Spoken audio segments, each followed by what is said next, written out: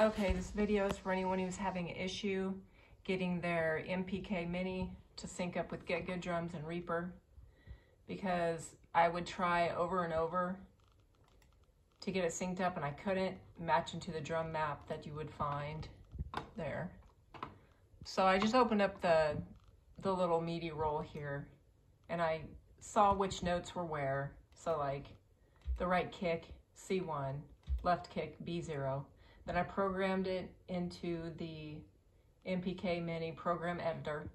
And I did it, I don't know if it made a difference, but I did it on everywhere I could. I made it match, whether it's note, CC, PC, all of it. And I don't know if that made a difference, but what made a difference was changing my output because I could like hit something and you could see it light up, but it you couldn't hear it. So I knew I had it linked right once I did that, but you still couldn't hear it. So I went into the MPK program editor and I changed the output.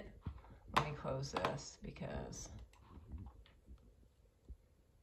no. Here's what I did. So say I'm gonna get my program.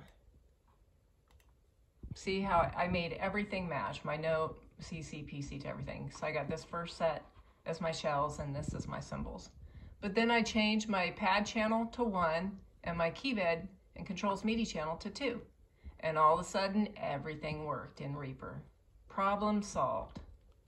I hope this helps you too.